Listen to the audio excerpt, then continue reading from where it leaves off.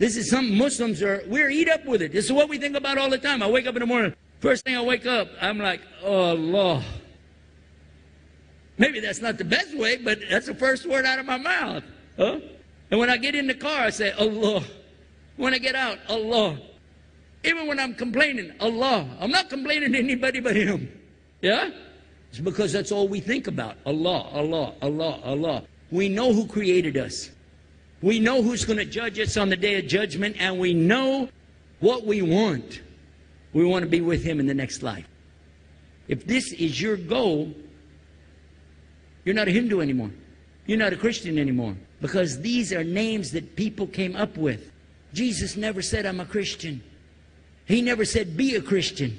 Moses never said, I'm a Jew, be a Jew. In fact, he wasn't from the tribe of Judah anyway. You follow me? Confucius didn't tell the people to be Confucianists.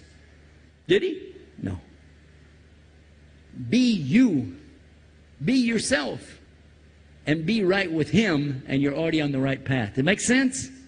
Does it make sense? You got me? Okay, the next part. When you look at what some Muslims do, if you look at what some Christians do, if you look what some Hindus do, do you blame the religion or the person? If you see two trucks smashed together or a bus and a car smashed together, do you blame the people that made the car or do you blame the people driving it? This makes sense. It makes clear sense. Don't blame a beautiful religion for the acts of some people.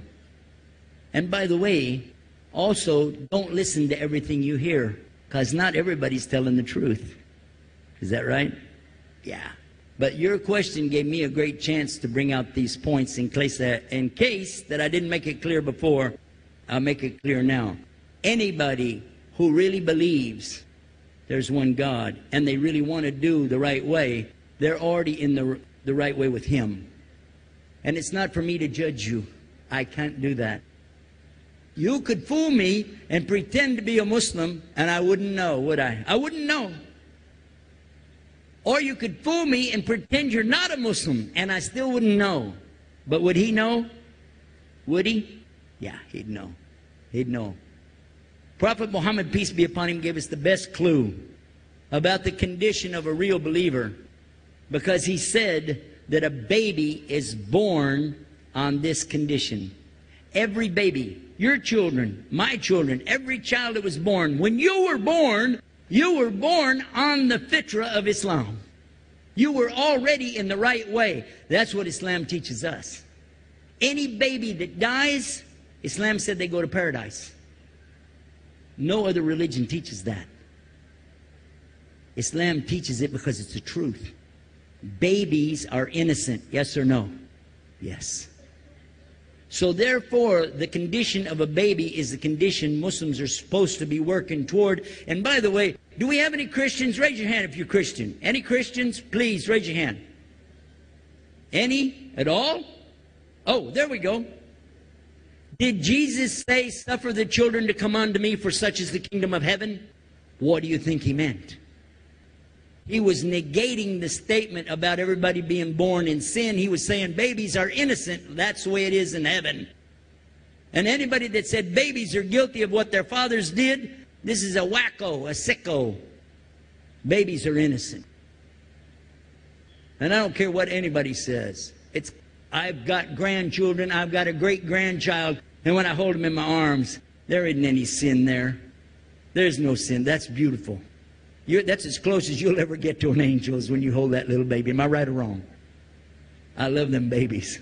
And I don't care whose baby it is. And Allah doesn't either. Because Allah is not punishing the child for the religion of the parents or the foolishness of the parents. Allah is not like that.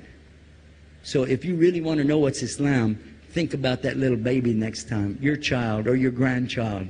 Look at him and say, That's Islam. This is real Islam. Thank you for a good question. Yes, we do. Thank you for the question. Sister, inshallah, could you please state your name and occupation and then briefly state your question?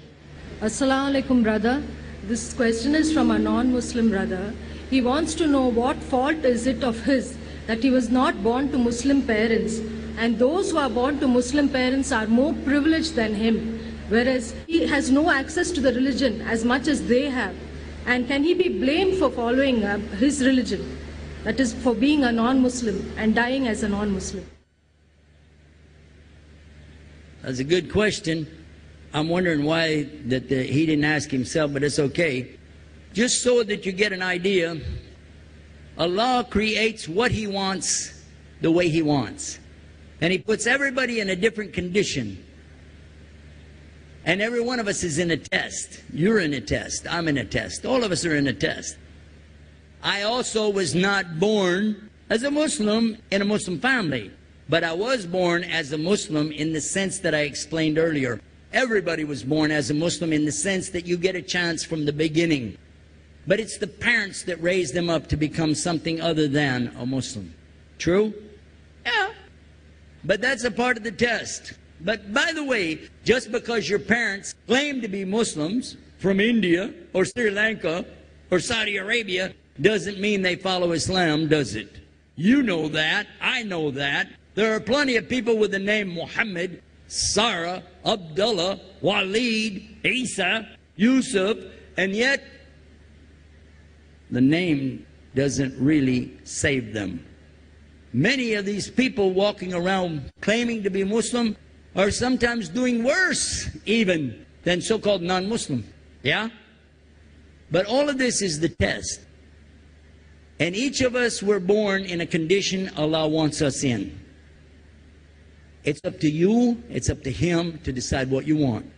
And if He said He understands that there's only one God, but He's going to use this as His excuse, He just blew the test. But if He understands there's one God, it doesn't matter who His parents are. It doesn't matter what He grew up around. And it doesn't matter where He is right now. He can get out of His condition simply by saying the Shahada. Ashadu ila ilaha illallah. Ashadu Muhammad Rasulullah and Allah will fix all of his problems. Is he here? Is that person is here? Huh? Oh, okay. If somebody is here right now and understood what I said, that'll cure your problem. That'll fix you up. Just say it. Do it. Make sense? Okay.